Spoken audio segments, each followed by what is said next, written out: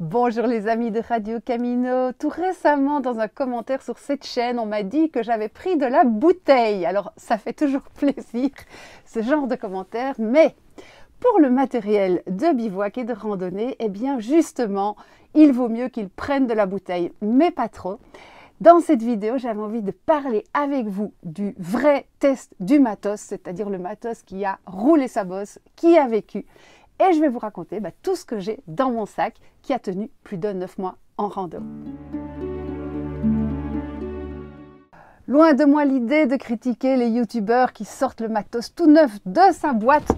J'avoue que moi aussi j'ai fait cette erreur. D'ailleurs, quand j'ai acheté ce merveilleux sac à dos euh, il y a plus de 4 ans, j'ai fait une vidéo sur le sac tout neuf.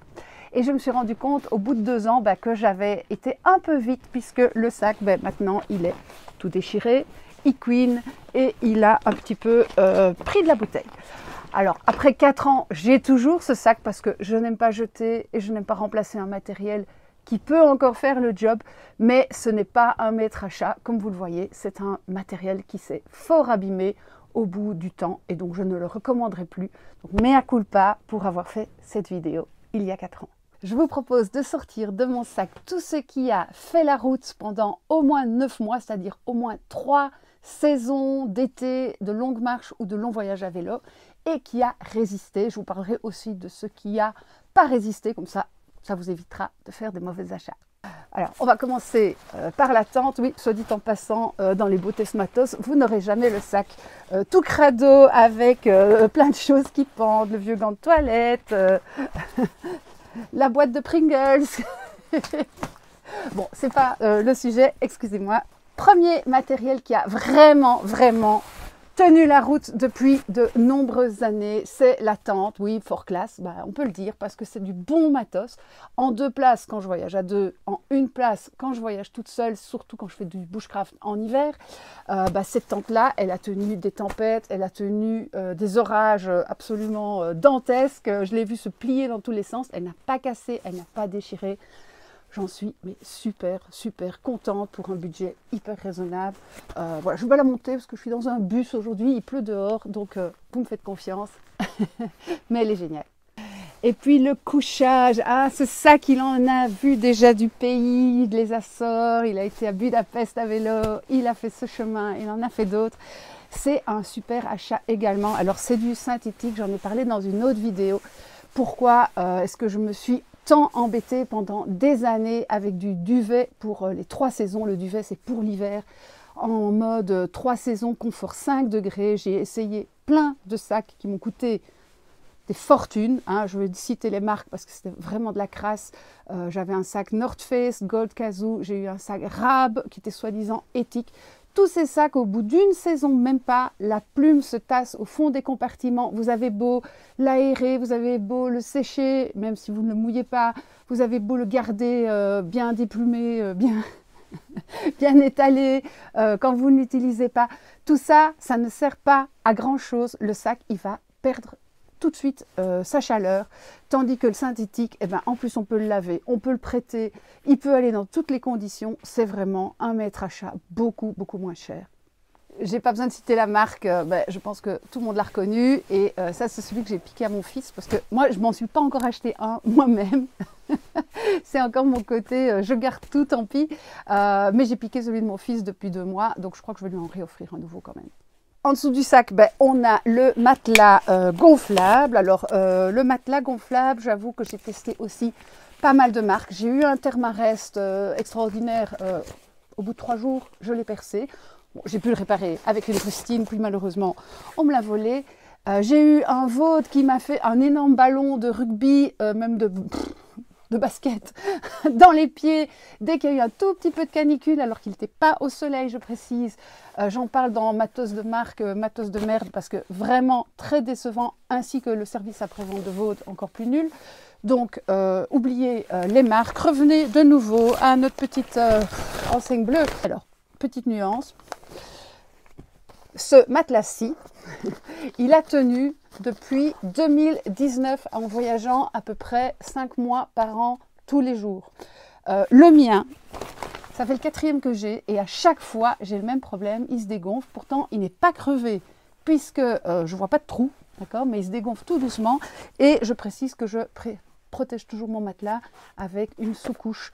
Euh, donc voilà, ça peut être aussi un peu le coup de poker. Parfois on a un bon, parfois on a un moins bon.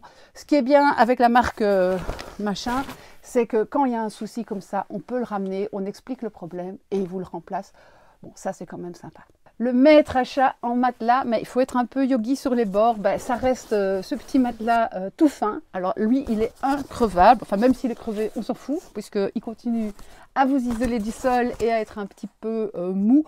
Bon, je l'utilise plus pour la sieste et comme sous-matelas également parce que ça protège de l'humidité et du froid. mais ça, ben voilà, ça fait au moins 10 ans que je l'ai. il est toujours là. Il a coûté 5 euros. Après le couchage, ben, la cuisine. Alors, euh, la cuisine, ben, d'abord, ah oui, le gaz. Alors, le petit brûleur, malheureusement, on le fait plus. C'est un Primus, il était génial. Ne hurlez pas, je sais que la bonbonne est gigantesque. Il pas d'autres. Bon, ça arrive. Euh, donc, l'ultra léger, on oublie euh, pour ce coup-là. Alors, qu'est-ce qui tient bien le coup en popote? Moi, je suis assez contente de ma casserole en silicone extensible. Donc on met ça sur le gaz, pas sur le feu évidemment, ni même sur une cuisinière euh, trop puissante. Il faut que le gaz soit bien centré là. C'est génial, on fait tout avec ça. Je l'utilise euh, deux fois par jour minimum, trois fois quand je fais une salade.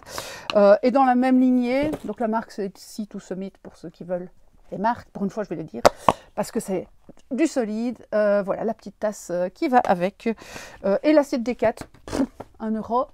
bah, ça, fait, une vie, ça. C'est génial. J'allais oublier les grands classiques. Bah, ça, évidemment, c'est aussi pour toute la vie, si on ne le perd pas. Le couteau Opinel. Et celui-là, bah, ça, c'est le record dans mon sac parce que je l'ai depuis mes 18 ans.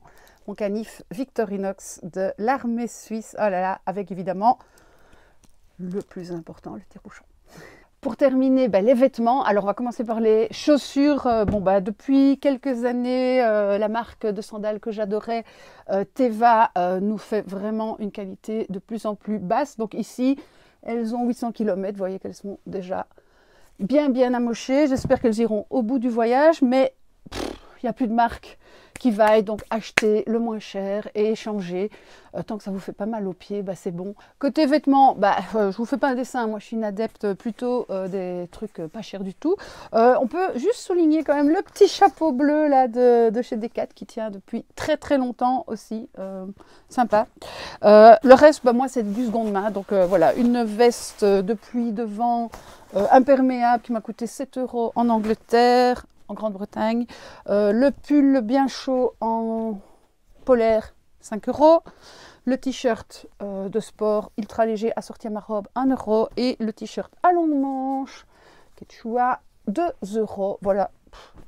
Que voulez-vous de mieux? Ah, par contre, il y a quand même un matériel pour euh, la rando qu'on peut acheter un peu plus de qualité, c'est le mérinos euh, que j'utilise bon, principalement comme vêtement de nuit. Vous allez voir que je ne dis pas toujours du bien de Decathlon parce que les t-shirts en mérinos qui sont quand même beaucoup plus abordable dans l'enseigne bleue que euh, des grandes marques. Euh, voilà ce que ça devient. J'espère que vous voyez les jolis petits trous. Et euh, pour ce qui est du petit pull aussi Mérinos, voilà à quoi ressemblent bah, les manches après quelques utilisations. Donc 9 mois, c'est mon critère. Ça passe pas les 9 mois, malheureusement. Donc la D4, il y a vraiment du progrès à faire sur la qualité de vos vêtements en Mérinos.